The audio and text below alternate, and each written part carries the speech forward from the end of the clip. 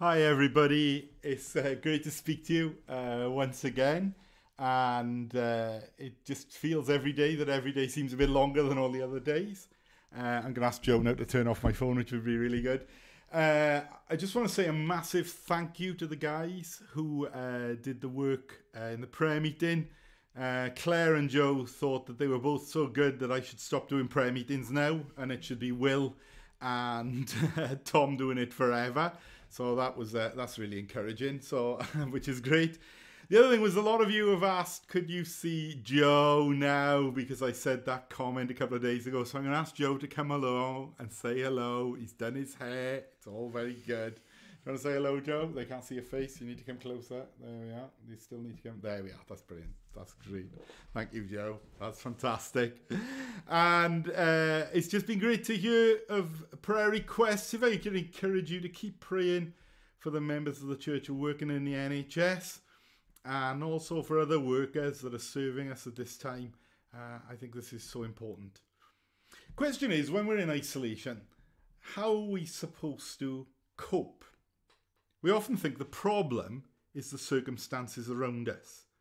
We think that the real issue is if things changed, everything would be okay. But the Bible is clear that's not where the battle is, and that's not a battle we control. The real battle is how we see circumstances, how we see life. It's the battle, really, if I could put it this way, of the imagination, of how you perceive circumstances. Paul puts it this way in Corinthians The weapons we fight with are not the weapons of this world. On the contrary, they have divine power to demolish strongholds. We demolish arguments and every imagination that sets itself up against the knowledge of God. And we take captive every thought to make it obedient to Christ. In our minds, we can think nobody cares. In our minds, we can set up strongholds where we think God's got no plans for us. Our sins are more serious than everybody else's, they can never change. Things will make us happy if things change. But the Bible teaches the problem is the problem of the mind. And what we need is to demolish the arguments and the lies of the evil one, whose only purpose is to steal our life and this moment from us and to murder us. His intention is to get us to believe lies. And you see this over and over again in the Bible. Similar thing is said in Ephesians chapter 4. So I insist on it in the Lord that you must no longer live as the Gentiles do in the futility of where? Their thinking. It's the thinking is where the problem is. In fact, it seems to me the Sermon on the Mount shows there has never been a sin which we haven't imagined and thought of first, believed a lie. That's why Jesus says, doesn't he, in the Sermon on the Mount, about hatred. If you've ever hated someone, that is murder. It is the root of murder. Adultery has to be committed first in the mind. All sin has to start in the mind. So if we're to stay sane at this time, we have to win the battle of the mind, the battle of the imagination we have to realize that sometimes, or most times, the way we see the world is not true. We're not useless. We're not forgotten. We're not unforgiven.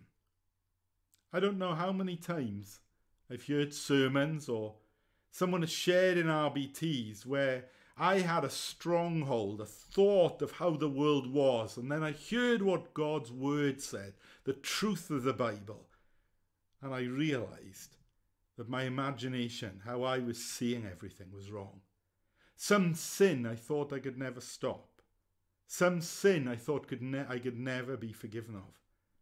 Some situation where I felt that God didn't care with me and he just barely tolerated me. And then someone shared God's word. And there was a war between how I imagined the world how Satan had captured my thoughts and my imagination. And then the word of God would come and tear down the stronghold and capture it for Christ. That's what meditation is. It's thinking about what the Bible says instead of thinking what we say. Martyn Lloyd-Jones, the great preacher, describes it as this it's the first sign of sanity to talk to yourself. Tell yourself the truth. So when you're on your own and you think this situation is hopeless, that's not true. Jesus is on the throne. He rules all things. If you feel God's got no purpose or plan for your life, that's not true. God has called you and given the truth to you. So do not lose that war. The war of the imagination of your heart. Talk to yourself with the truth. We don't know, we don't understand, and our hearts are sinful. So let us listen to the word of Christ. Share RBTs together, read what is being said. Listen to Christians giving good advice. Listen to his word. And then we will be able to stand against the evil one.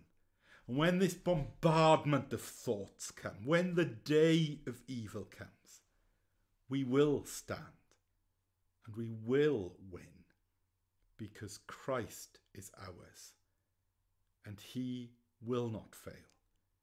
He has already won when he rose from the dead, victorious over sin and Satan and death.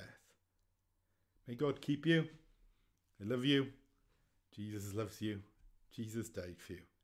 God bless you. Hopefully, speak to you tomorrow.